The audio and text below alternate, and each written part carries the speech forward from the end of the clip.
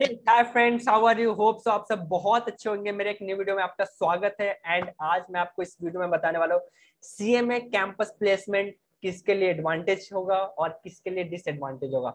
सो so, अगर आप placement में पार्टिसिपेट करना चाहते हो या फिर आप सीएमए फाउंडेशन इंटर के स्टूडेंट हो और आप जानना चाहते हो कि क्या स्ट्रेटेजी मैं बनाऊँ कि मैं कैंपस प्लेसमेंट में एक अच्छी कंपनीज़ में एक अच्छा जॉब पैकेज लेके जाऊँ सो so, ये वीडियो आपके लिए बहुत ज़्यादा इंपॉर्टेंट है।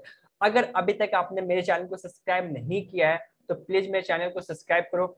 आपका एक क्लिक मुझे ढेर सारा मोटिवेशन देता है। सो so, मैं आपको मोटिवेट करता हूँ आप मेरे को मोटिवेट करो और इससे हम दोनों ग्रो करेंगे।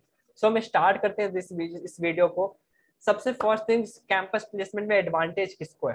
देखो एक कम्युनिटी को एडवांटेज मिलेगा दूसरे कम्युनिटी को उसका डिसएडवांटेज होगा कैंपस प्लेसमेंट सो अगर आपने tenth twelfth graduation first attempt में क्वालिफाई किया टेंथ, ट्वेल्थ एंड ग्रेजुएशन, यानी आपका कोई बैकलॉग नहीं होना चाहिए। ग्रेजुएशन में बहुत सारे बच्चों का होता है कि बैकलॉग लग जाता है। सो आपका ग्रेजुएशन में कोई बैकलॉग नहीं होना चाहिए। टेंथ, ट्वेल्थ एंड ग्रेजुएशन में आपकी सिक्सटी परसेंट कम से कम मार्क्स होनी चाहिए।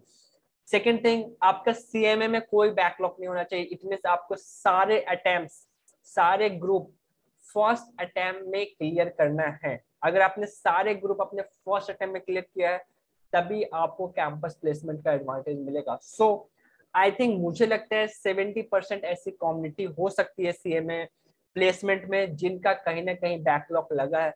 सो so, आप सबके लिए कैंपस प्लेसमेंट में डिसएडवांटेज है शॉर्ट लिस्टिंग में प्रॉब्लम्स आ सकती है आपको। 90 परसेंट कंपनीज़ के क्राइटेरिया में आप फॉल नहीं करोगे। सो इन दैट केस आपको डिमोटिवेट नहीं होना है।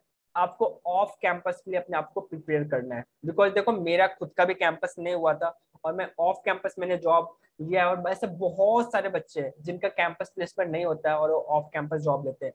बारह सौ से तेरह सौ स्टूडेंट सेम क्वालिफाई करते हैं जिसमें से two hundred two three hundred hundred students का ही कैंपस प्लेसमेंट होता है।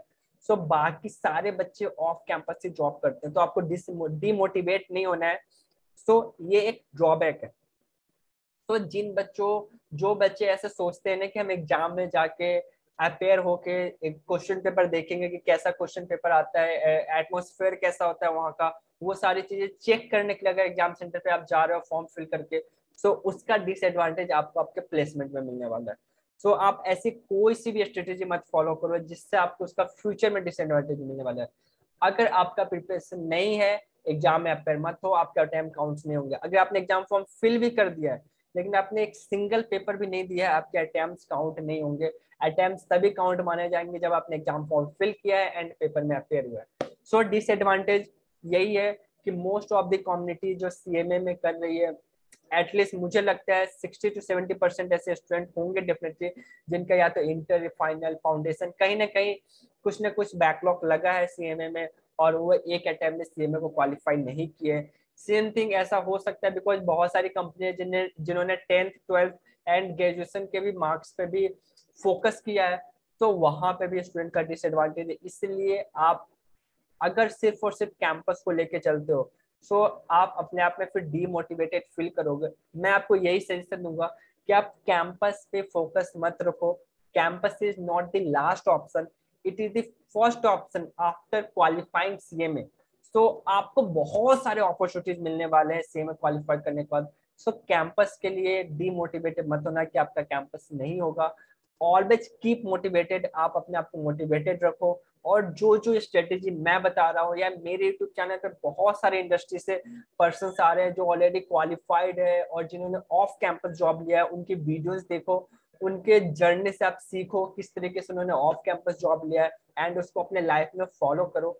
सो so, मैं आपको इन शॉर्ट एक छोटा सा एग्ज़ाम्पल भी दे देता हूँ एट दिन मेरे पास अभी करेंटली मैंने वेदांता का यहाँ पे जॉब डिस्क्रिप्शन ओपन कर लिया है जस्ट फॉर एग्ज़ाम्पल अब देखो, वेदांता ने लिखा क्या sixty percent throughout in tenth twelfth and graduation and post graduation without any backlog at the time of selection and joining No other gap in regular course in strategy allowed not more than one year gap between either 12th and graduation. All four groups of inter final first attempt में clear होना चाहिए अगर आप foundation का paper भी अगर आपने दिया है तो वो भी आपका फ़र्स्ट अटेम्प्ट में क्लियर होना चाहिए सो so, यहाँ पे क्लियर कट है अगर आप कैंपस प्लेसमेंट में जाना चाहते हो ये सिर्फ़ जस्ट फॉर एग्ज़ाम्पल है आप वेदांता के अलावा एलएनटी का एग्ज़ाम्पल ले लो इसके अलावा और भी जो पी एस पार्टिसिपेट किए, उन सब का भी अगर आप एग्ज़ाम्पल हो सब जगह सिक्सटी परसेंट मार्क्स उन्होंने ग्रेजुएशन में मांग रखा है, या फिर आपकी C M A first attempt होनी चाहिए, ये सारी क्राइटेरिया है।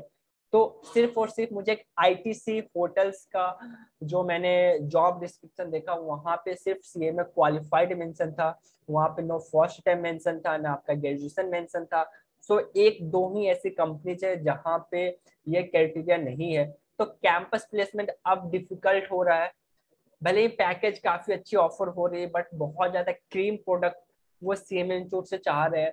सो so, कहीं ना कहीं ऐसा नहीं कि जो जिन्होंने जिन बच्चों ने फ़र्स्ट टाइम में क्वालिफाई किया है उनकी डिग्री की वैल्यू कुछ और है उनके पास नॉलेज कुछ और होगा बट कंपनी का देखने का नज़रिया कुछ और है। सो so, हम उस नज़रिए को नहीं बदल सकते। हाँ लेकिन हम प्रिकॉशंस ले सकते हैं। हम वो सारी स्ट्रेटेजी फॉलो कर सकते हैं कि हमारे अटेम्प्ट ना लगे।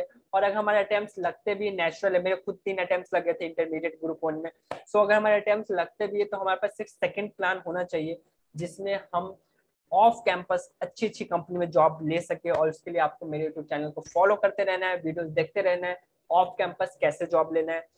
ओके होप सो कि आपको वीडियो अच्छा लगा हो। प्लीज़ अच्छा लगा हो तो इस वीडियो को लाइक करें अपने फ्रेंड के साथ शेयर करें।